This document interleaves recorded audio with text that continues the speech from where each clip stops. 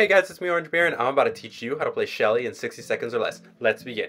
In order to play Shelly, you must have the best items equipped. 1. Bandage 2. Happy Treats 3. Jungle Shoes 4. Helium Canister or Defibrillator in teams. Shelly's active is called Shell. Once you go in your shell, you become the most invincible turtle in the whole Zooba world. Knowing that, you need to know when and how long to use your active in situations to stay in fights, especially in long drawn out fights. Having helium canister equipped it helps you so much to repel up close and personal fighters, example Finn and Jade. Here's how you max your weapon traits. For Spear, do range first, then cooldown reduction. For Bow, max range first, then knockback or velocity, depending on your playstyle. Last, Shotgun, you max range first, then velocity. Obtaining Shelly's Primal Instinct allows your shell to reflect the damage that comes onto it. In order to do that extra meme damage with Shelly, you must have the best Shelly skin equipped, that Schools Out Shelly. And you also need to equip the best Shelly emote, the Angry Shelly, where she shoots those laser eyes at you. And that's how you play Shelly in 60 seconds or less. Class dismissed. Leave a like on this video and leave a comment down below letting me know what character you'd like to see me do next. See you guys next time. Bye!